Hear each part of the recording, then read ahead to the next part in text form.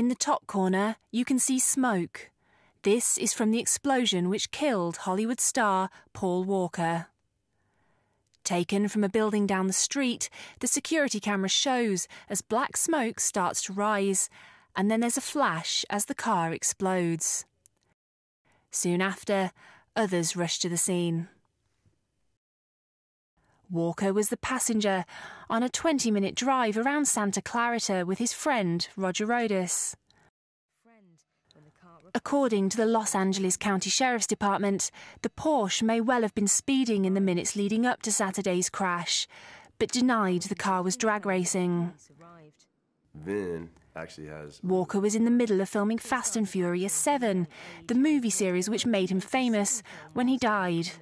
Producers have not yet revealed whether they will continue with the film, but rumours suggest they may well go ahead using what they already have in the can.